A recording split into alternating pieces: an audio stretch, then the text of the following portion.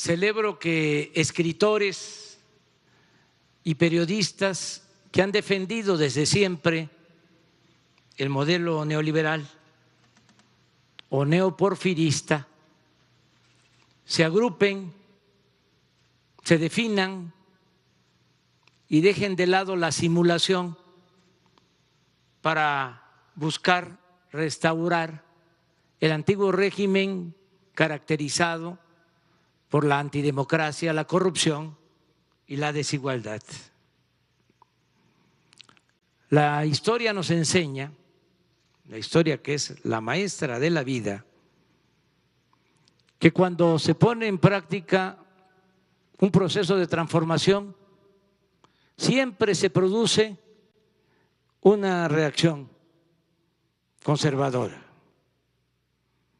De modo que es absolutamente legítimo que exista una oposición al gobierno que represento y a las acciones que estamos consumando.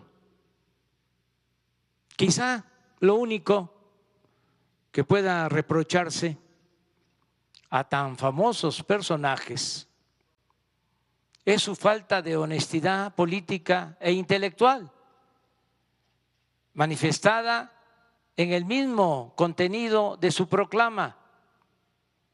Bastaría con preguntarles cómo contribuyeron a los avances democráticos para salir de un sistema autoritario y establecer la democracia, si casi todos ellos defendieron o guardaron silencio cómplice ante los fraudes electorales de la historia reciente del país. Por otra parte, con todo respeto, da pena ajena su argumento de que buscan construir una alianza con miras a las elecciones del 2021 para obtener la mayoría, y cito textualmente, asegurar que la Cámara de Diputados recobre su papel como contrapeso constitucional al Poder Ejecutivo. Fin de la cita. ¿Qué acaso no se han enterado que está por llegar extraditado de España Emilio Lozoya, exdirector de Pemex, quien al parecer presentará pruebas y explicará cómo se lograba el poder legislativo el contrapeso, entre comillas,